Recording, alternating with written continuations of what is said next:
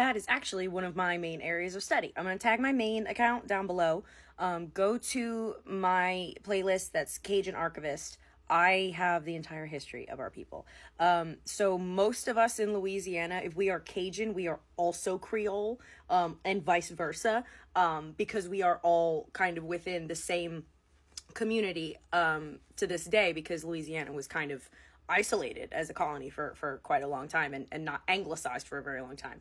Um, but essentially, Cajuns are descendants of those who were slaughtered in Le Grand Derangement, the genocide of the Mi'kmaq and Acadian French peoples, um, who were just slaughtered. Um, those are my ancestors.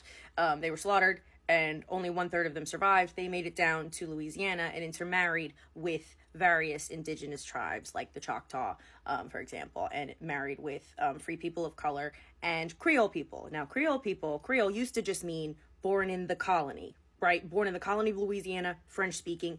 It at first was not a racial or ethnic racial determinator.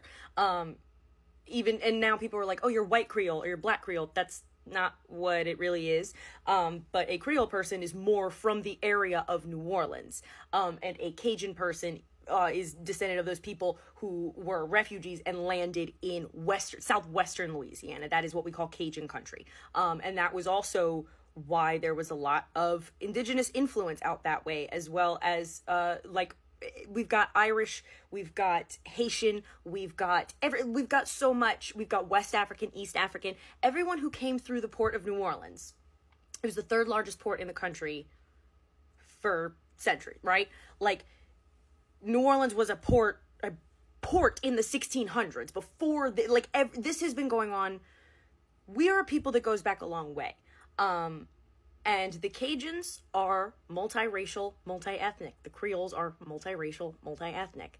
And that is why our communities are unique. Um, if and for the reason that you know in Louisiana, I get married to somebody who you know we we live in the same community, whatever. We're the same friends. With it. like we are all most likely descended of the Cajuns and the Creoles because we didn't expand. We didn't go anywhere else. We we were honestly the victims of so many genocides and ethnic cleansings that we finally found a place and, and made a home in it. Um, and we are a very like indigenous um, community in in culture and um, religion and and practice. Um, and it's very fascinating. Um, and we it, it, a lot of it has to do with the French Catholic and Spanish Catholic influences on Louisiana before the United States was everything. I talk about this very, very, very in depth on my main account. This was just three minutes. I'm I'm a yapper. I I promise. Any question you have, I can answer it over there.